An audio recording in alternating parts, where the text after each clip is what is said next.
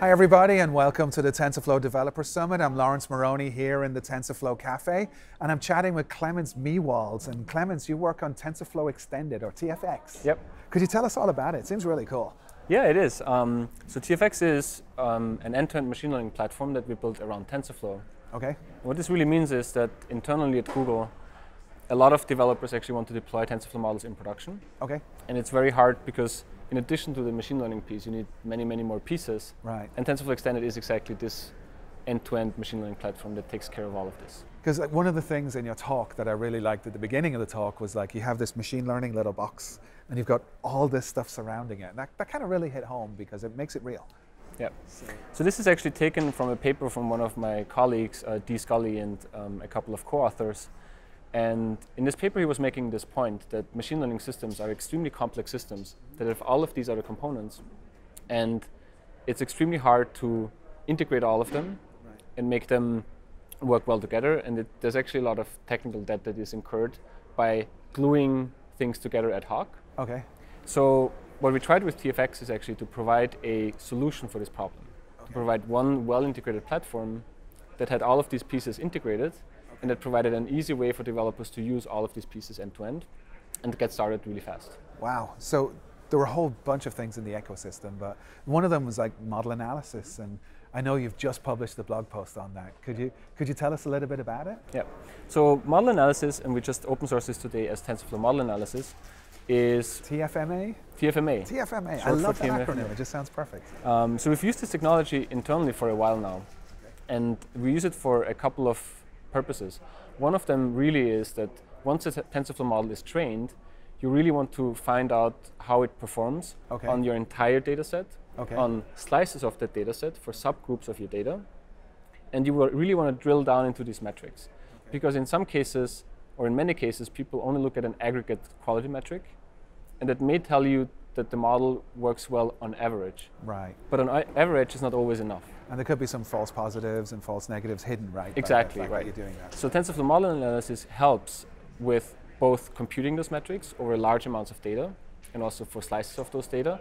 And then we provide some front-end tooling and interactive components to drill down into these metrics okay. and find sub areas of data where the model may not be performing well, or to find error um, cases or cases where the model is actually not performing as expected.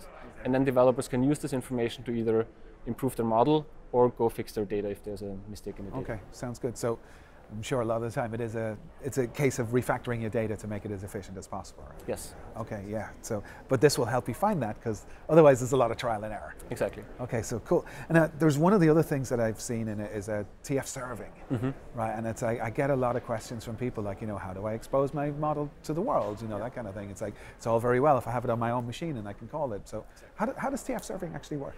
Um, so TF serving, uh, it's very interesting. The code base that we're actually open sourcing is exactly the code base that we use internally to serve our machine learning models. Okay. And the basic concept behind it is that you don't want to hard code your machine learning model into an application. Okay. You would rather have a server that loads a model and then you can make requests to that server. I see. Which has a lot of benefits. And TensorFlow serving is exactly the solution that, um, that provides the community with this technology. And we just announced today that we're working on a REST API okay. for that server because this is the number one feature request from the community. Yeah. And we've heard the community and we're working very hard on releasing this soon.